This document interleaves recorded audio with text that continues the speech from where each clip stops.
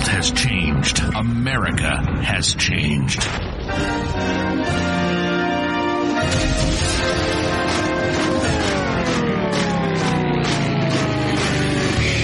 If something were to happen tomorrow, how self-sufficient would you be? Could you grow your own food? Could you sustain your own livestock? Could you survive? This is the We Grow Our Show with Nick and Don. Nick and Don talk about everything from politics to planting. They cover techniques, methods, and tips on how to not only survive, but thrive. Visit the website at WeGrowOurs.com. Lock and load. This is the We Grow Our Show. Get your grow on. Welcome back to the We Grow Our show. Oh man, Episode eight. episode eight. Yep. Eight is great. so on Sunday, for those of you that didn't catch it, we had our first live show. It actually wasn't ours. We were on with, uh, Lena, Yeah. The Prepper's Path. the Prepper's Path. Yes. Not to be confused with the Prepper Patch with Tony Tangalos. That's right. This is on prepperbroadcasting.com. And Yes, sir. she was nice enough to have us on, introduce ourselves, talk about us a little bit, let us talk about us a little bit. Nick did most of the talking. I didn't know such thing. You talked a lot about aquaponics too, you freaking mic Hog. Well, and I will tell you that the live chat is very cool. They have on Prepper Broadcasting on all of their live shows. In fact, on our show as well, which is Mondays, um, they have live chat, which is cool. So I promised a couple of people I would do a shout out. So I'm going to get that out of the way right now because I promised Freaky and Jimmy D. Distillis. Uh, Distillus. Sounds like he's making He said he'd come on, he said he'd come on and teach us distilling.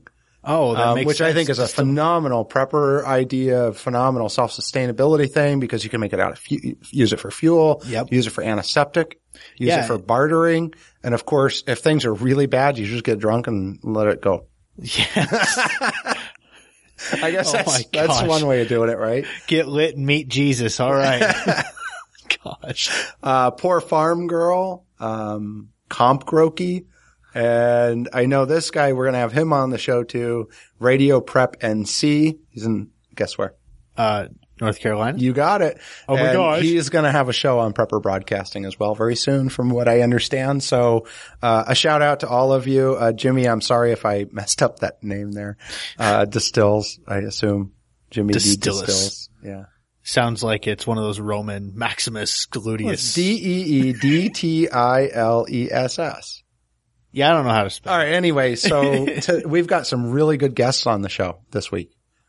This week. This week. Yeah. I thought there were Don. a couple of morons. Yeah, Nick and Don. That's our guest. We are n- no guest this week. We're going to have a serious talk about self-sustainability, about prepping, about some things that everybody should know and some, maybe some real world experience that Nick has, um, that I have kind of what he does and what he plans to do if, if he loses his job, if he, if the grid goes down, if the economy collapses, how are you guys going to live life? Maybe some things you haven't thought about before. Uh, I, uh, we posted a great article and it's going to be on our uh, blog at wegrowours.com. Look at the show notes and blog. You'll see this really good article on there about a lady who just went through the ice, uh, ice storm back east and they were without power for five days. Ooh. Did you read this, Nick?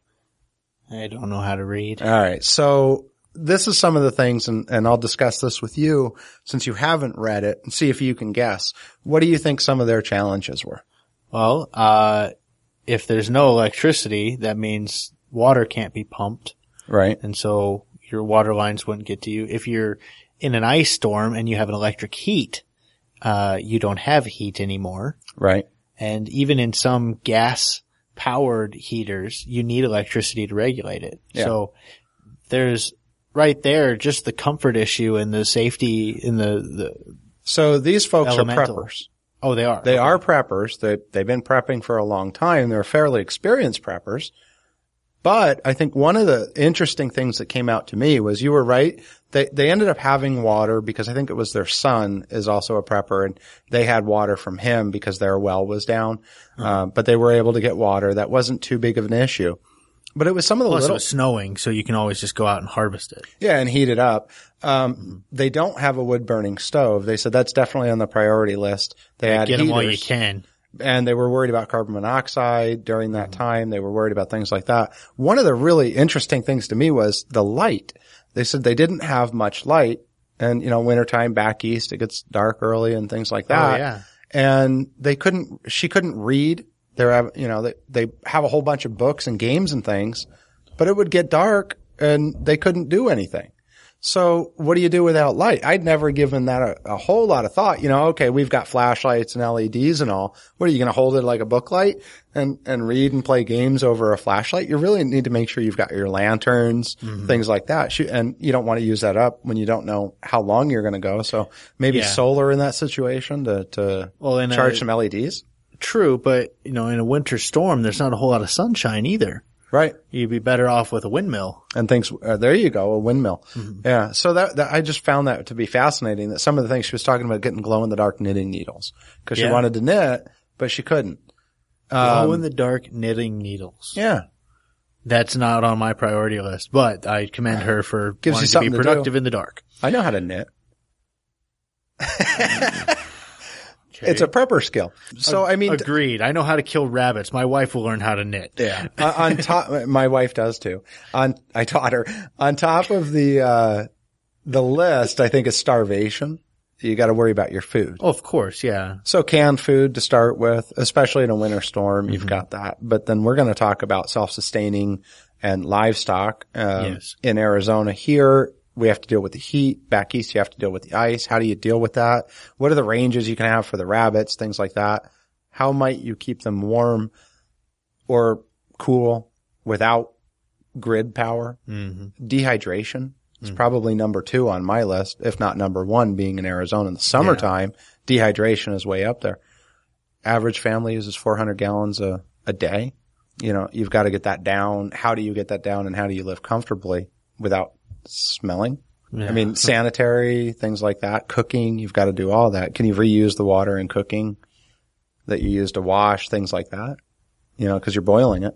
Yeah, yeah, you're still having particulates that are left over and it's going to add some funky flavors to your, uh, Well, if you, to your soup. something like a big filter might, might work, you know. Yeah, exactly. So I think things like that, um, we've got to worry about the elements, Now, you- indoor, outdoor. Here's, here's a, a question that's on topic, but yet very, very far on the edge. Do you personally, do you drink your aquaponic water? I have just to show people that you can. Okay. Um, I, How's the taste? it tastes like water. Okay. So It, it's not, it actually, I mean, it tastes like, um, it's not fishy or anything Uh-huh. or weird or stagnant or nasty or anything. It does have a, a dirty taste. like there's minerals in it. Yeah. Like almost like dirt. Yeah. I don't know how else to explain it. I, well, back in Wisconsin, uh, my dad has a, a creek that runs right through his farm. Yeah. and I'd be out all day long and you get thirsty and they always say don't drink the water, don't drink the water because of this, that, or the other. Uh, they're afraid of microbials and all this Yeah. stuff. Well, you don't know what's upstream pooping in it. True, very true. Well, I'd always drink the water because I didn't want to walk the mile and a half back to the house. And I tell you, that's some of the best water I've ever tasted. It had a little bit of a dirt taste to it, but, uh, I'd say it still tastes better than Arrowhead. Oh yeah. So- yeah. Uh, no, I'm I'm right there with you. I we had a brook behind my grandparents' house. We'd go play, and you drink it all the time. I think with that, you're more concerned: is there a dead animal up creek? yeah. Or is literally Well, if the something- water smells bad, you're going to know. Yeah, and it's not stagnant. I mean, Yeah. you know where this thing is. Of course, we had chemical plants all over the place too, so that probably didn't Is help. that why you have three eyes? It might three eyes, yeah. It might be. so if what what we've talked about this before. So what are you preparing for personally? Well, uh, first and foremost, economic collapse, whether it be personal or widespread. Uh, everybody gets in a tight spot occasionally with money. And if the spot is tight enough for long enough, you're screwed, Yeah. you know? So, uh, my wife and I have figured out how much money it would take us to live if neither of us had jobs and how much it would cost to, um, stay in my house comfortably. And I know that figure. And so So what I- happens if if there is an actual economic collapse? let's say, or even a, a grid down situation, you can't even access your cash. So, uh, I can, but yeah. all right, well, you can. Most people can't. Um, because their money is in the bank. I mean, we Mm-hmm. keep, we try to keep silver and things for that. Do you, do you keep anything like that? No, um, my, uh, when I say I can access it, I don't use, you know, most of my assets are physical items. You know, I don't keep, um, I don't keep gold or silver or anything like that, but I have assets that I can liquidate if needed.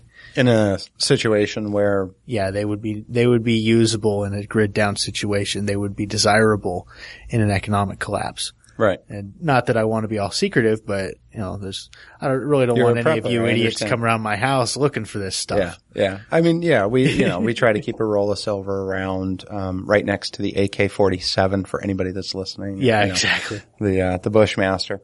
Uh, so that's the type of thing that I want to talk about today. Okay. And I want to talk about live food storage because that's what we're mm-hmm. pushing. I want to talk about teaching the community. I've had a lot of people say, Hey, you know, I love this idea, but can I do it? How much time does it take? What am I getting into? And mm-hmm. I know, let's cover time. How many, what are you doing right now at your house? Personally growing, prepping, farming, that type of thing. Well, we'll just cover what's legal. Uh, no, just kidding. I don't, I don't grow anything illegally. Actually, judging by my CC&Rs of the HOA, yeah, I am growing stuff illegally. I'm not abiding by those rules and I am okay with that. Hopefully you guys are too. But I have a few ducks in the backyard that are laying about an egg. They average like, I think their average is, uh, an egg every day, seven days or like five days a week, roughly. I can't get my, my ducks won't do that. I get an egg a day for about a week and a half to two weeks. Uh-huh. And then I get nothing for two weeks. Okay. And then I get an egg a day for two weeks and then nothing. Now I don't have a male duck and we're, we're dealing with Oh, yeah, got Muscovies. Yeah, the, mine are Muscovies Okay. too. And these guys. If you get another male or they hatch a male or you have I- I fertilized have eggs, I have a male you could have. Yeah. I would love a male Muscovy. Okay. Oh, look at that. We did a trade right on the show. That folks is how it works. That's why you need to get people in. That's why you need to get people in your community. Exactly. And that's, I, I have, uh, my ratio is, is two females for every male Muscovy. And, uh, it's like a Beach Boys song back there all the time. Yeah. Two girls for every, anyway. Um, Well, I have the two girls. One of them today hatched a black chicken. Um, I guess why does it have to be about race with you? I guess she was sitting on this egg. It's a cute, I'll put a picture up. It's a cute little chicken, but we have, we don't have any black chickens of laying age. So I have no idea where this chicken came from. I don't know how it was. I mean, our rooster had, our rooster passed away a couple weeks ago. So it had to be by him. The new rooster is too young yet to do anything. Uh, we have no male ducks and it, this is a, obviously a chicken and the chickens that we had that were that color are not laying yet. So I don't know where this black chicken came from, but we're going to find out, I guess, as it gets bigger. So we've got a new black chicken in the house and we sold a bunch of them. Anyway, go ahead. That's pretty cool. Yeah. Um, but yeah, I've got the ducks. Uh, I've got the Muscovies going. I also have an aquaponic system that's under construction at the moment. I, it's like a 600 gallon tank we have to work on that together. Yeah. Well, it's just all I have is a biofilter running. I don't even have any grow beds or anything. It's just, it's just for fish at the moment. Right. And I was able to maintain pretty good nitrogen off of it because it was over filtration by far. Um, we'll talk about that. Uh, that's, that's set up and ready to, ready to be added onto, but my staple obviously is rabbits. I have a 15 by 8 foot shed and in that shed I have 30 rabbits. Now that is much more than my wife and I need. Absolutely. A lot more And by about 28. yeah, by about 28.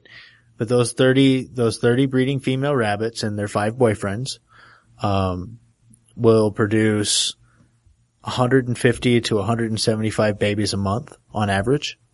And with those, I can barter, Do you barter now with those? of course. Yeah. In fact, I, I'm knocking on wood here that, uh, I don't screw this deal up just by mentioning it, but I have a, a, a friend of a friend that builds bumpers and I just bought a Nissan Titan and the Nice. bumper is Uh, well, it looks kind of girly and it's just not, it's made out of plastic and I don't want to be the one taking damage in an accident. I want to be dealing it. So I'm having this bumper built and it would retail for 16 to 1600 to $2,000. Well, it just so happens this friend of a friend is a rabbit, um, connoisseur. He's a rabbiteer as, uh, Boyd Craven calls us.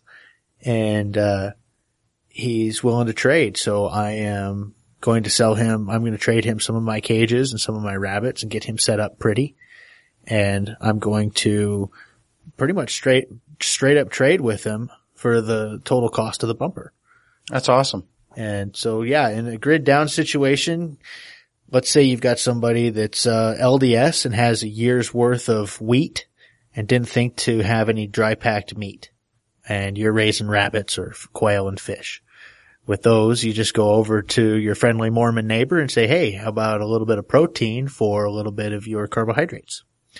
And just trade up. And- Yeah. Now, are you, you're going to get the aquaponics system oh, going? Oh, yeah. But l- right now you're not using that. So mostly, are you doing any gardening? I have moringa planted. Okay. That Which- doesn't count. It doesn't. Well, not, It's forty percent protein, yeah, no, dude. it counts. It counts as a plant. right? But how, all right, let me get to the real question. How much time do you spend on those 30 rabbits? What does it cost you in time? Oh, 30 rabbits, 15 minutes a day. 15 maybe. minutes a day. And that's because I'm out there lollygagging, petting a few of them. If I had to haul ass and get everybody fed, I could do it in less than five minutes.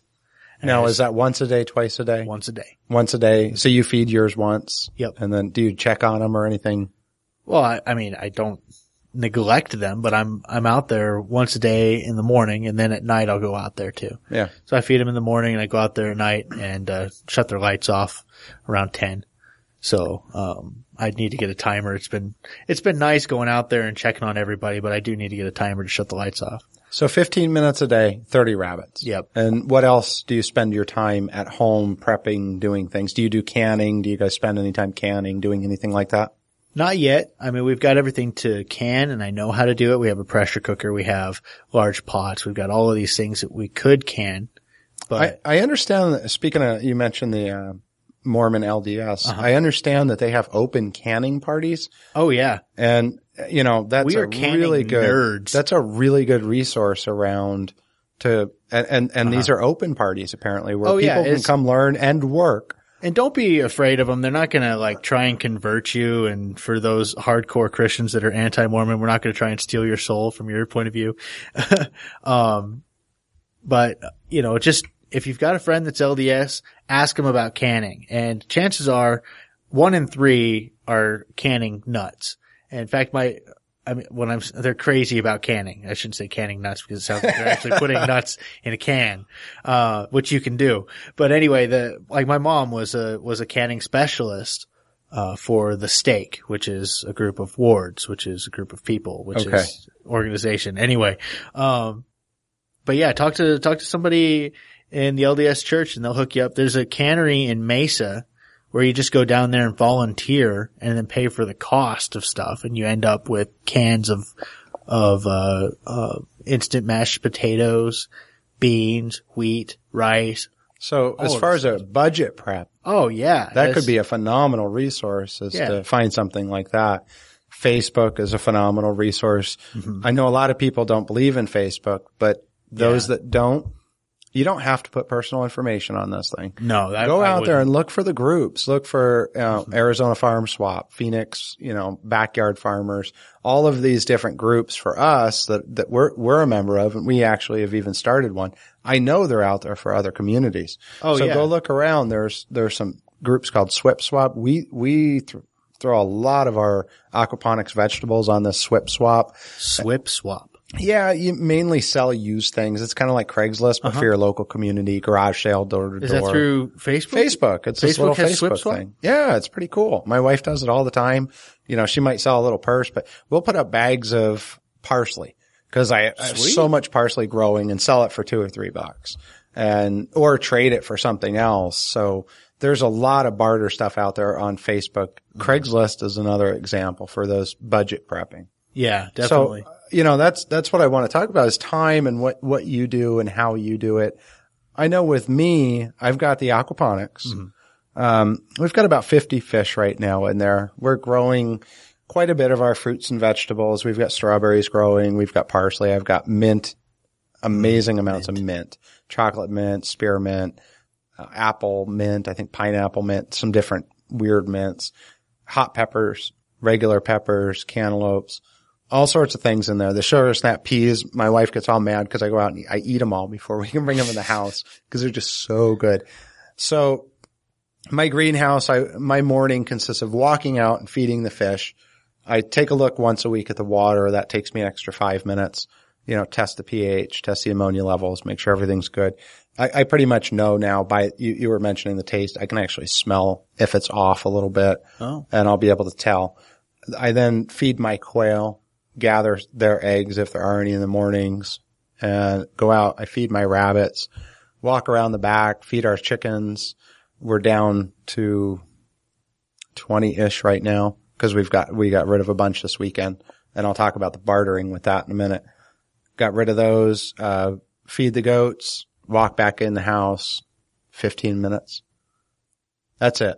Now, once a week we go out and we try to do it once a week, go out and harvest everything out of the aquaponics system. That maybe takes 10, 15 minutes. And then once a month, I'll go out and do a real good cleaning because I, I, right now I have quail in the greenhouse and we clean all the pens out and things like that. That probably takes us, the kids get out there and help us. That's probably a good two hours. Um, sometimes we stretch it to four because we're having fun doing it and, you know, Well, we have the whole family out, but Don't think of that as time costed. I mean, that's Right. not costing you time. You're with your kids and you're teaching them how to work. yeah, And I'll tell you, not to sound like an old man, but kids these days don't know how to work. And Not I'll, I'll admit my generation does not know how to work. That's, uh, you know, the, let's say 20 to 30 year olds right now. They're like the first products of the vidiot age. Like, I don't know because I grew up on video games too and I'm a bit older than you. yeah, but I was outside playing most of the time. That's the thing So- is that you had a transition. Your parents were probably more like, get off of that death box thing. You just get out there and play. yeah, yeah. TV didn't raise us. We raised ourselves outside. Yeah. So no, I, I totally agree. But you look at the, you know, time, even if you don't have kids, if you don't, you know, want to do it, mm-hmm. The time that I spend in it with all of the animals we have, we have two dairy goats, four goats total, 20 something chickens.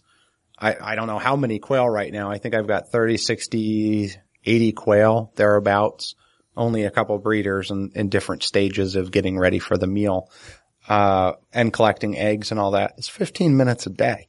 It really is not bad if you, if you roll that up. I mean, cost wise too, it's not much. So are you, what are you feeding your rabbits? Are you feeding them pellets right now? Actually, no. I have, I have pellets available for them, but they usually leave the pellets alone. I actually started feeding fodder. You are feeding fodder at this Yeah. point. I'd say 90% of what they eat is fodder. The other 10% is clippings off of a tree that's going crazy in my backyard. So how much time do you spend feeding them, growing the fodder? What's Oh, that like? Okay, so in the evening, I will turn on an episode of Swamp People and uh, rinse a rinse a can of of barley seed, and that takes like two seconds to just rinse it and let it sit, and then you change the water out and let it sit, and then you change the water out and you leave it sit overnight, and then the next morning, uh, you feed a tray of fodder that's grown for the last six days. And then you've got an empty tray that you just rinse off real quick and you put the, the freshly soaked barley in that tray and then you put it back into the fodder system. And if you go to hostilehare.com underneath of the tools of the trade tab or equipment, I can't remember if it's equipment or tools of the trade. You're upgrading your website soon, aren't you? Yes, we're in Yay! the process. Um, but in there you can see the fodder kits, and the one that I'm using is the six tray. Uh, the six tray will grow 15 pounds of barley fodder a day, and it's a six day process. But you've always got the process going from day one to day six. They overlap, so you constantly have new barley seed going in and barley mats coming out. Well, 15 pounds of barley fodder feeds all of my rabbits and then some. So this is the six tray fodder kit you're Uh-huh. using. It looks like on your website it is two hundred and seventy dollars. Yes.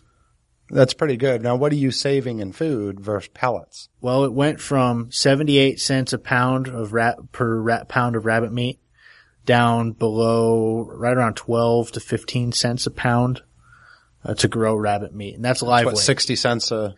Yeah. 60, pound? 60 cents a pound. So, uh, my daily price is about two to three cents per serving.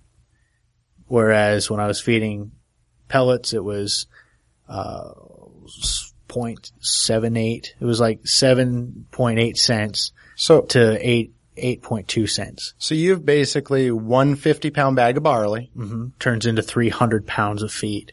fifty pounds. 50 pounds times six because for every pound that you put in, you get six pounds out.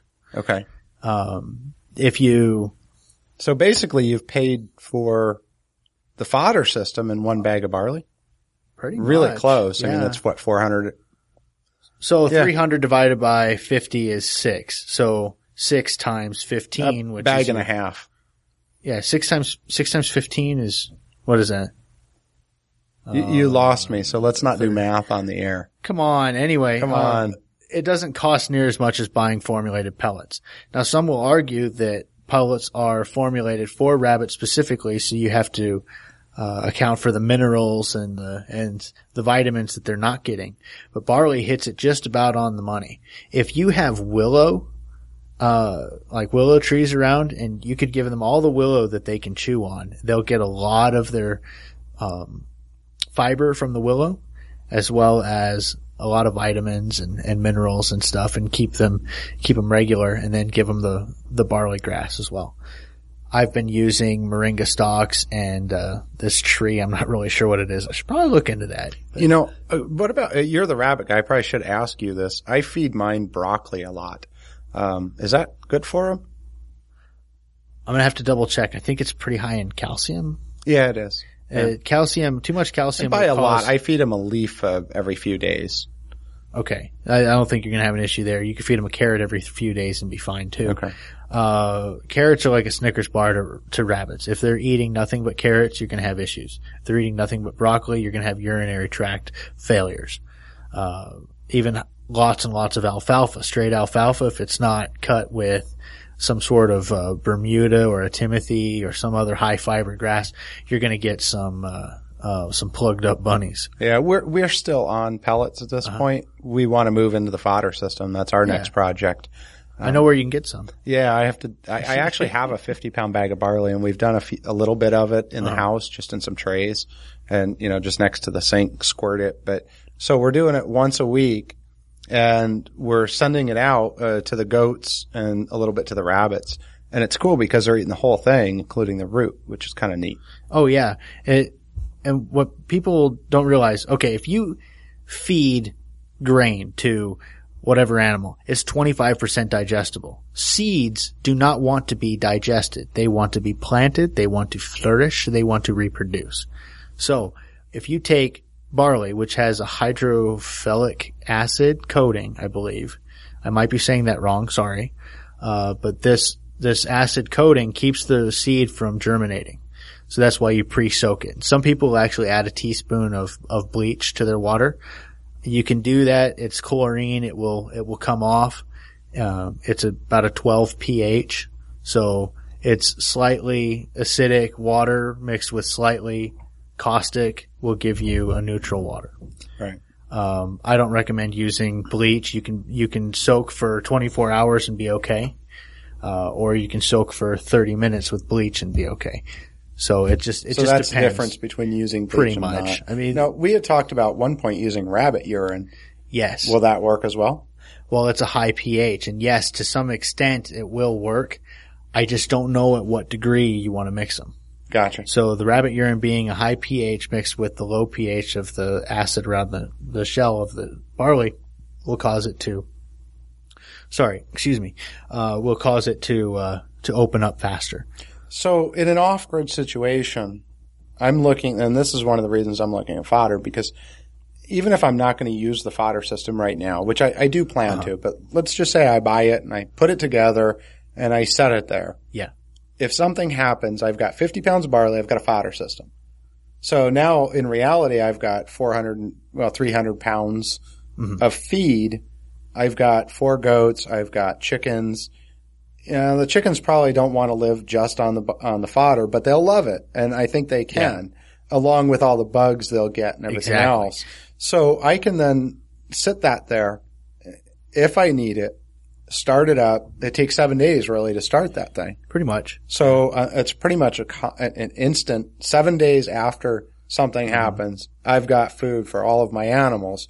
So I need to leave seven days of feed on hand at all times. Yes, I would suggest more than that. And this is why. If you're starting up barley, you don't want to go cold turkey off the pellets and onto barley because you need to give the rabbits uh, time to develop a different cecum, a different uh, Right. bacteria in their in their gut. Uh, if you if you just go straight from pellets to, you're gonna it's going to be an abrupt change. You're going to have watery stool and different things like that. But back to why barley fodder is so good. 25% digestibility as a seed, 80% digestible as a sprout. So in the first day, you've changed it from 25% digestible to 80% digestible. Now, on day two, it's doubled in weight. Day three, it's tripled in weight. And uh, so on and so forth until day six. Which is why that 600%. That's where we're getting that is day mm-hmm. 6 day seven. It's that much heavier. Yep. And it's nothing but water. That's right. because that then that but that plant has come out, mm-hmm. used all the nutrient from the seed that it contained, exactly. which now you can digest and get at. exactly. And so Mother Nature is amazing. She is awesome. So that's why I went with fodder. And also another thing is if you're buying good, good solid pellets, they go bad within four to six months because there's no preservatives in it. There's nothing in it keeping it uh, from being eaten down by ambient uh, bacteria. Seeds, since they don't want to be digested, can be stored almost indefinitely. Right. As long as there's no moisture in the air and you can get them Keep in an dry oxygen free, and dark. dry sealed and dark, they will not sprout. So, uh, that, What about temperature? Do you know? Can I in Arizona? Can I put it in a garage or something with no AC? Is that an issue? That's where mine are right now. the, the seeds or Yeah, the, the seeds, the barley I- seeds. I think with anything, heat is going to, going to, um, increase metaboli- metabolization. Yeah, Um, I would keep them in the coolest spot possible. Maybe a impromptu root cellar right. would probably be and really you know, I, we've actually talked about that. One of the things I have, and we get into this prepping thing. Uh, right now, we're renting, but we're renting a manufactured home on a little over an acre, acre and a half. We may be buying it. We're still not 100% sure. But I'll tell you, I love the manufactured home. It's actually built. The quality of this thing is not what you think of when you think trailer. It is two by six construction. The the two by six. two by six. What's the R value on that? I, it's I can't recall. It was it's a Cavco and it's fairly new, so I know they build to these really high standards of code for California. So we've been looking at different houses, saying, okay, are we going to do a container house because we're, going to purchase some land mm-hmm. and and build on it. We want to do this whole non-mortgage thing. Very so, smart. but with this, I can go underneath it. You Yeah, know, and it's true. not just I don't need a finished basement type thing. I mean, I can have a root cellar under there fairly easily, a, a crawl space enough to get under there What's and store things like temperature seeds. underneath of that? You know, in the summertime, it's cooler. I haven't actually taken readings down there. I'm going to guess when it's 120 out, it's probably 95 down there. Mm-hmm. So it's nice and cool. The wintertime, it's a little warmer. It stays a little moister down there. I've crawled down there other than spiders ever, you know, a couple of spiders and we had some baby rabbits down there at one point. We've got, you know, it, it's an, not really accessible and it's not a real friendly place. But as far as storage, heck, I could see using something. I just cut a hole right and to my landlord, I won't do this. I could cut a hole right in the floor and just boom, have a spot, you know, drop a, already cut drop a hole in the floor. drop a, uh, you know, some kind of storage tote down there, a 55 gallon drum, and it would sit right on the ground and I could just fill that with anything I wanted and it'd be cool. So, you know, there's, there's all sorts of ways to do this thing. Um, so that's not a bad idea is putting it somewhere like that. Yeah, in fact, when I tell people uh, the Hostile Hare uh, slogan is "control what you eat from seed to meat," and that's what I'm referencing. you can store seeds, lots and lots of seeds for a very long time. You can can the seeds. You know, you don't have to like pressure seal the can or anything like that with the seeds in it, but you can seal them in there and have, you could set up little jars so that you already know what the measurement is. So you don't have to even think about it. You just crack open a jar, pour it in the thing or soak it right there in the jar that it's in and then reuse the jars. You do that all day, every day. Yeah, just take a marking on a jar and dump it in there, soak it, dump it into your fodder system. Yeah, it So- would be really smart. Yeah, fodder is definitely something we're looking into. Uh, we don't spend a ton on food as it is. The rabbits, I've only got a couple of rabbits. Um, I'm getting a new cage system very soon, and Where are you getting that from, Don? I know this guy.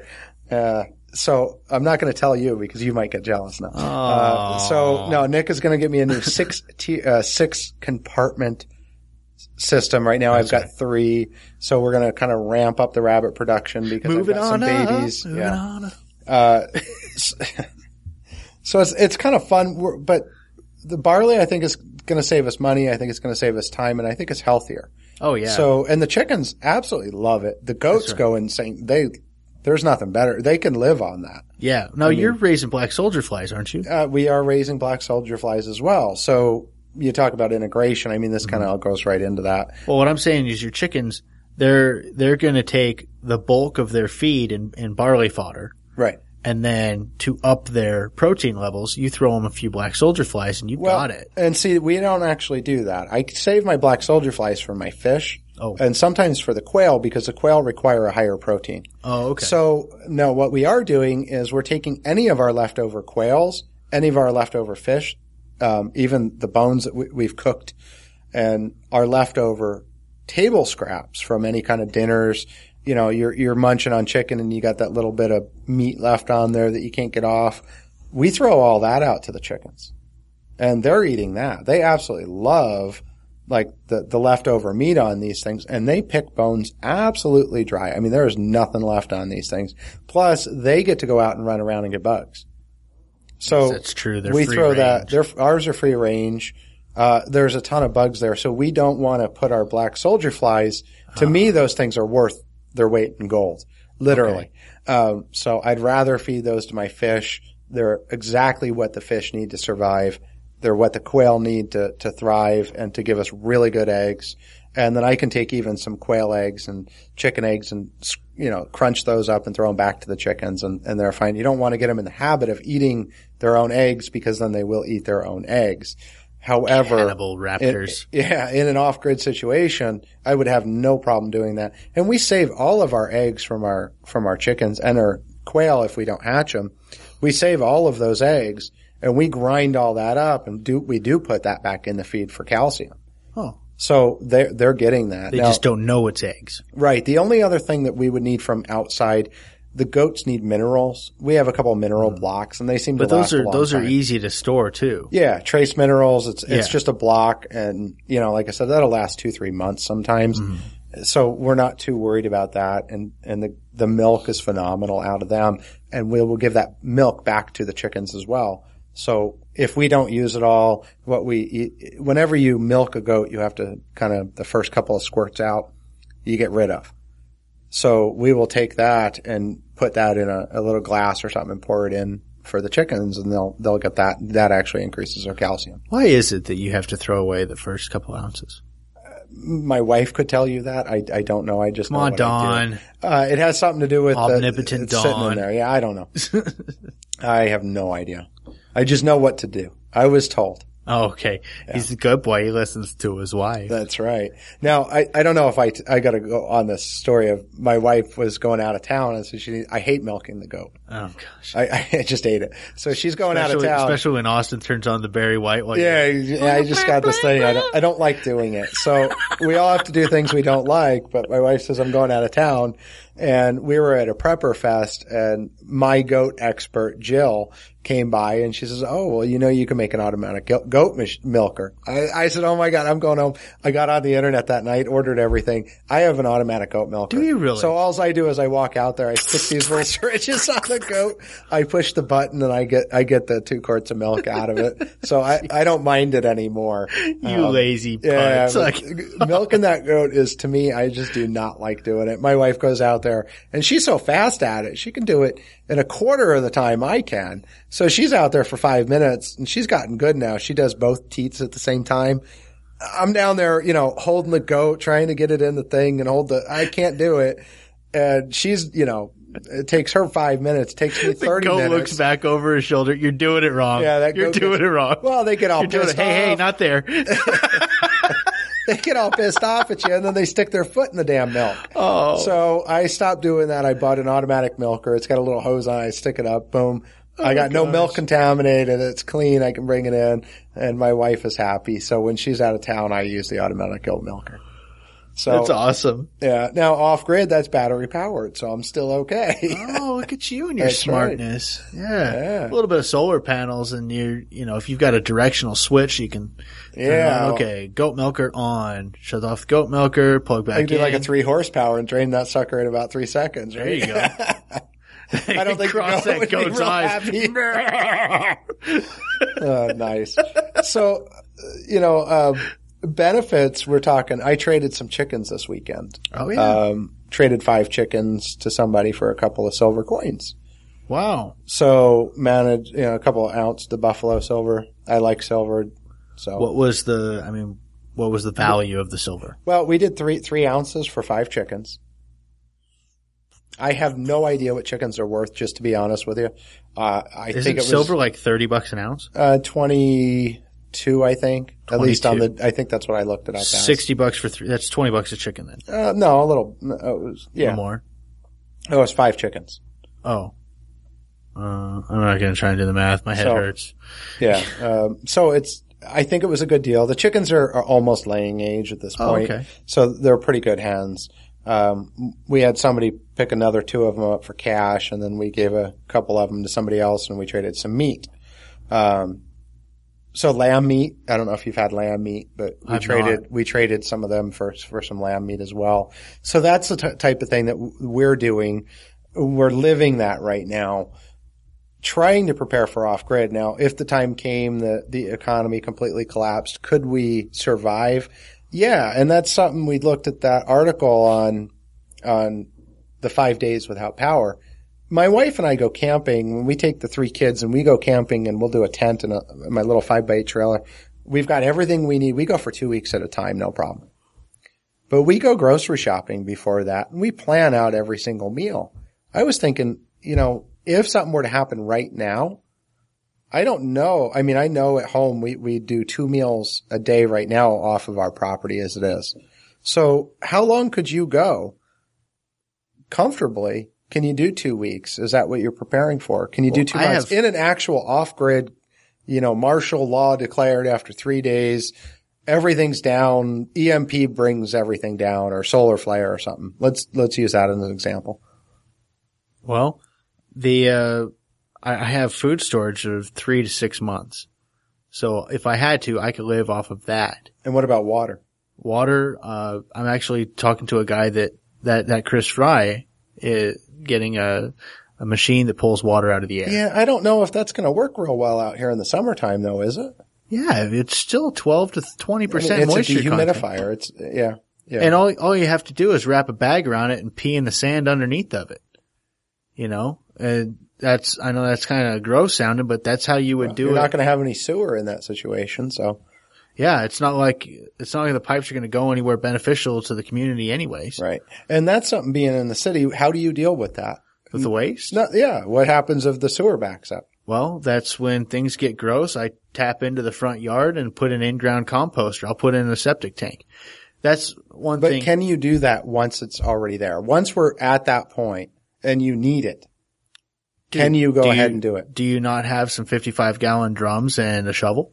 I don't know. I do. Yes. Mine are filled with water, but yes. Well, that's, uh, I, I have empty, I, my backyard looks like well, it looks like any redneck's front yard would, but I But have it's an HOA, so it's got to it's be, got in be in the backyard. So I have a few things. First off, the trash isn't going to come and pick up. So I can take those things, cut holes in the bottom. Actually, no, you don't cut holes in the bottom. You let the hole, you plug the holes in the bottom, put a leach field out into the yard and bury it two feet under the dirt Yeah. with holes drilled into PVC. I've got PVC. You can look up homemade septic Yeah. system and you just put in a septic system that'll handle the amount of volume you're going to put through. how do you dig that deep out here with the caliche and everything that we end up with? I can go down six foot, no problem. Can you? Yeah, I know because they had to build You? the pad up. Yeah, I couldn't see you swinging a shovel.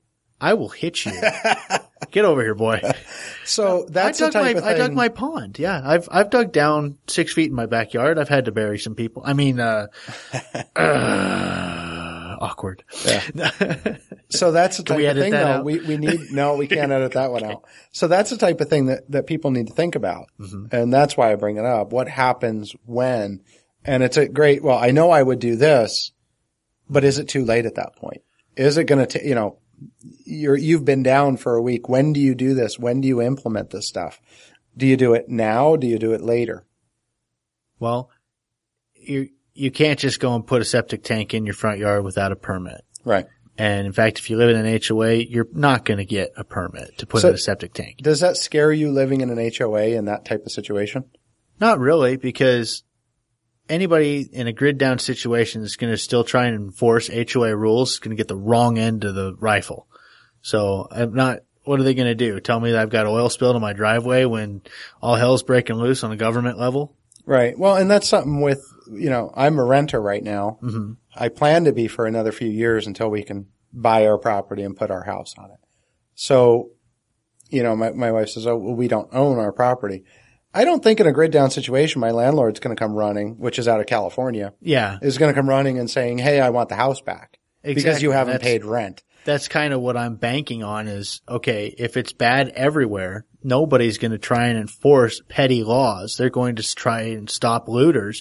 If that, and if they can't stop looters, they're going to try and go home and protect their families. Right. Right. So I don't think it's going to matter. I, if I grab a pickaxe and a shovel and go into my front yard, dig up my sewer line and put in a septic system, there's not going to be an issue. In fact, uh, look up anaerobic digestion I'm for methane production. very familiar with that. that is what I would do. Yeah. Well, and, and actually that's very similar to what aquaponics is.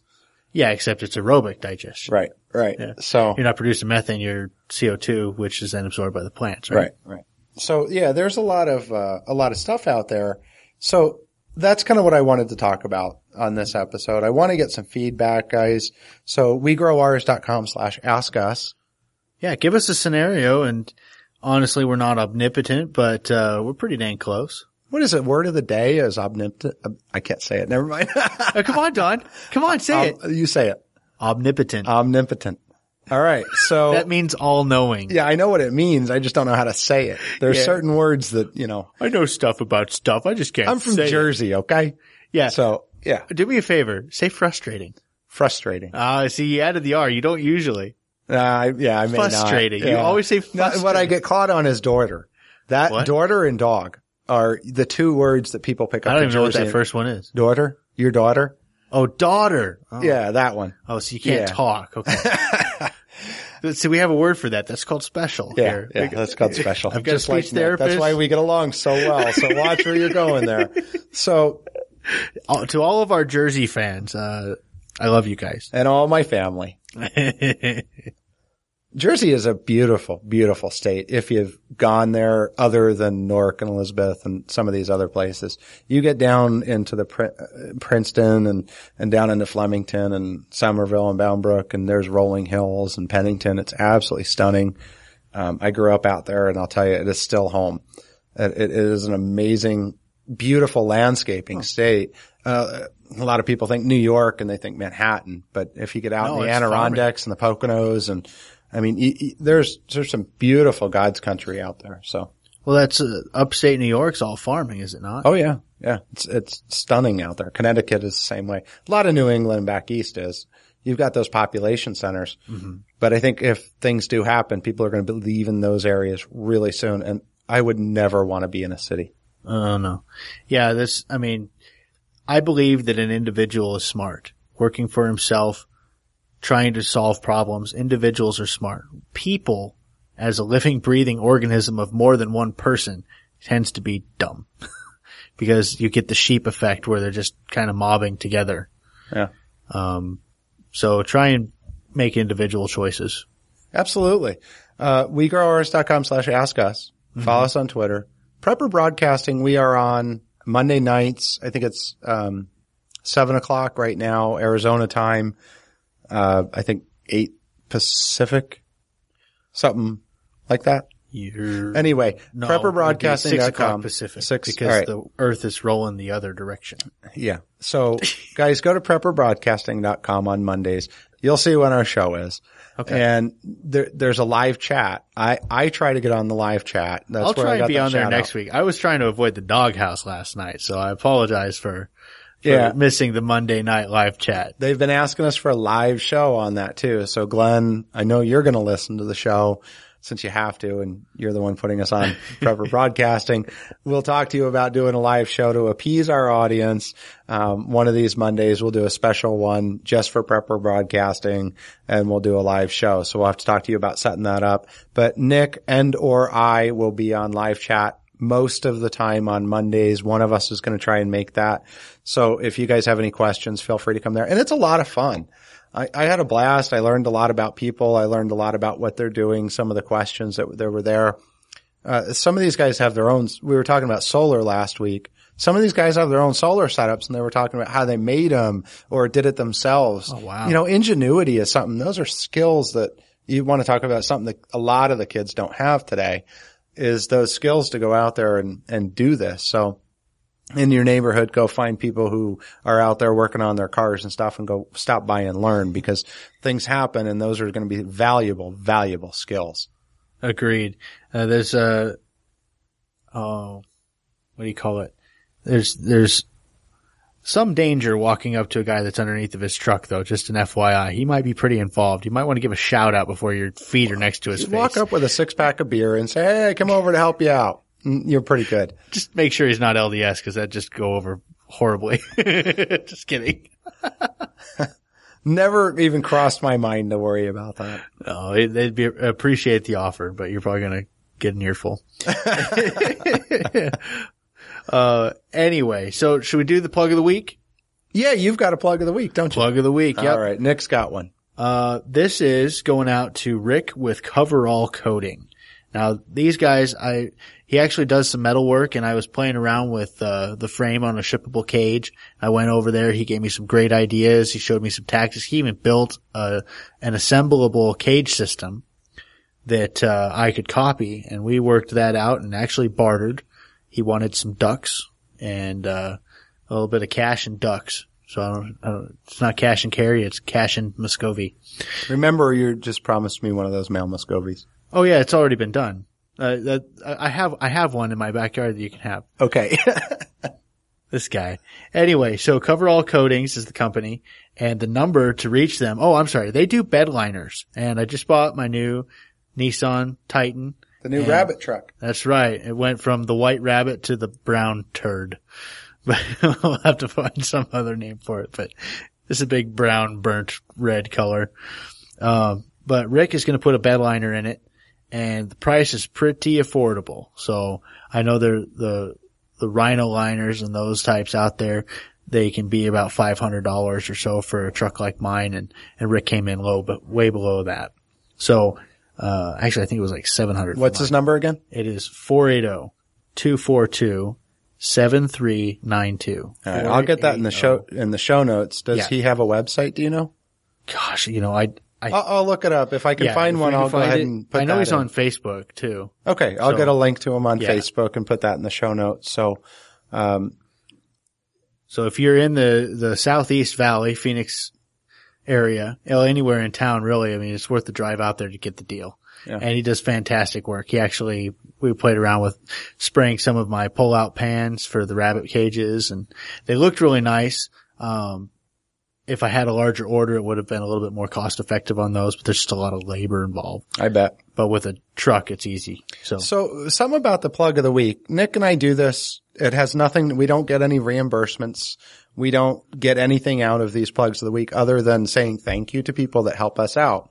If Just you guys that have, warm, fuzzy feeling. yeah, if you guys have a, somebody you think is des- deserving the plug of the week, something that they've done, and you send me a story and why, I'm happy to look at that and see if we'll put them in the show and, and give you the credit for introducing us to them or bringing them to our attention. So feel free to do that at the website. Just use the same ask us link, wegrowours.com slash ask us. Make sure you guys are checking out the blog post and show notes. We timestamp everything in there. Try to split that up into categories. So, oh, speaking of the plug of the week, last week I was talking about vape, the e-cigarettes Uh-huh. and I used the Vapor Rage. So I found a couple of local shops with that. But on the chat, it turns out a lot of people out there are getting off cigarettes and doing this. So I've gotten to meet a lot more people. In fact, on that Monday night chat, we were talking about vaping is the term for it. There's all these weird terms for it. And it's now becoming a really, um, more of an expensive hobby. So, so the saving money part is gone for me. Um, but I'm really loving it and I'm still not smoking. Yeah. Last week, Don had this cute little black something or another. Ego. This week, he's got this big silver, like 10 inch.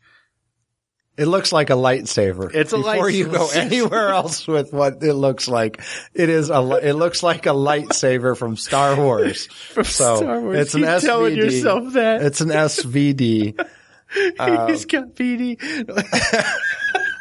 Luckily, I do all of the editing on the show. So yeah. Uh, so if you've got the the uh, ask us, I don't know where we're going now. I can't get my mind off of that damn e-cigarette. This- honestly, I will tell you, it's better than smoking. Absolutely. So if you've got a habit, use it to kick it and play with your lightsaber.